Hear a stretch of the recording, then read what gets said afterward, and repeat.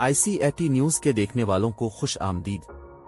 मुआज़ दोस्तों, पाकिस्तान ने सितंबर में चीन से बहत्तर अशारिया सात मिलियन डॉलर की बरा रास्त गैर मुल्की सरमायाकारी एफडीआई हासिल की, जिससे माली साल 2023-24 के पहले तीन महीनों के दौरान दोस्त पड़ोसी मुल्क से मजमुई एफडीआई में मजमुई तौर पर एक सौ छब्बीस अशारिया तीन मिलियन डॉलर का हिस्सा हुआ। State Bank of Pakistan SBP के जारी करदा ताज़ा तरीन अदादोशुमार का हवाला देते हुए, एक गैर सरकारी तंजीम, गवादर पिरो ने इशारा किया कि सितंबर में पाकिस्तान को चीन से चौरासी अशारिया चार मिलियन डॉलर की तरसीलात मौसू हुई।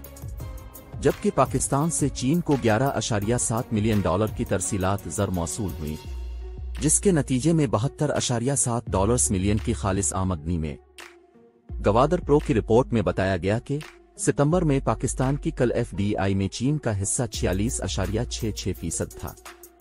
क्योंकि इस महीने में मुल्क में कल एफडीआई एक सौ पचपन अशारिया आठ मिलियन डॉलर रही। इसी तरह, माली साल 2023-24 के पहले तीन महीनों, जुलाई से सितंबर के दौरान, पाकिस्तान ने चीन से एक सौ छब्बीस अशारिया तीन मिलियन डॉलर की एफडीआई में से कल 412 मिलियन डॉलर की एफडीआई हासिल की। जो कल एफडीआई का तीस अशारिया छह पाँच फ़ीसद है।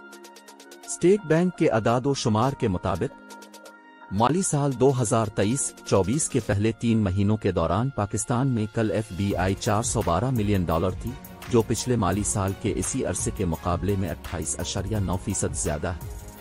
जी दोस्तों, ये थी हमारी वीडियो। इस पर अपने ख्यालात कमेंट बॉक्स में हमारे साथ ज़रूर शेयर करें। चैनल पर नहीं आने वालों से गुजारिश है कि चैनल को ज़रूर सब्सक्राइब करें। शुक्रिया।